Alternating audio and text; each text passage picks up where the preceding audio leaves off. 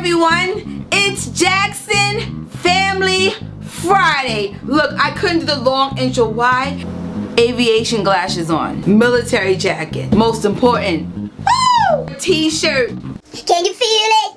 Can you feel it? I almost passed out when I found out my favorite brothers in the world, the Jacksons. Actually, let's just turn off the lights so you can see this, this right here.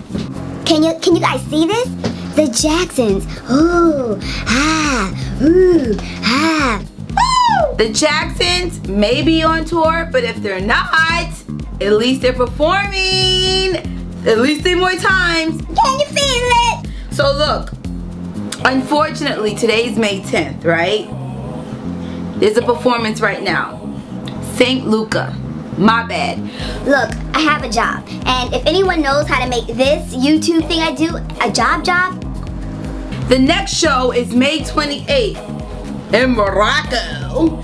And the third show is in Los Angeles, California's Staple Center.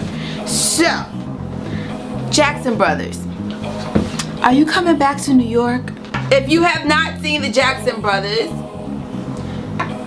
Actually, remember I told you guys last week, head to California. Now you have a bonus reason to head to California because it is Michael Jackson week that week. And then like, oh, instead of us flying out Sunday, let's fly out Monday and catch the performance at the Staples Center. Sounds like a plan plan.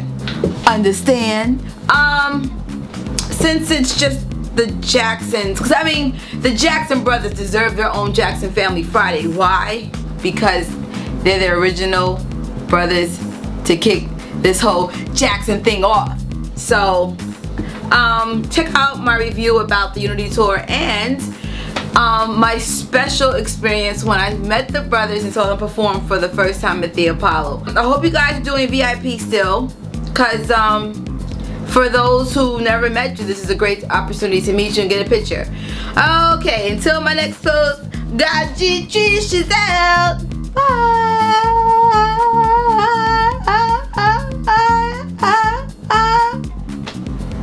Oh God, I need to get more fresh air. Bye. Now it's starting to sink in. I'm about to meet them, the brothers, like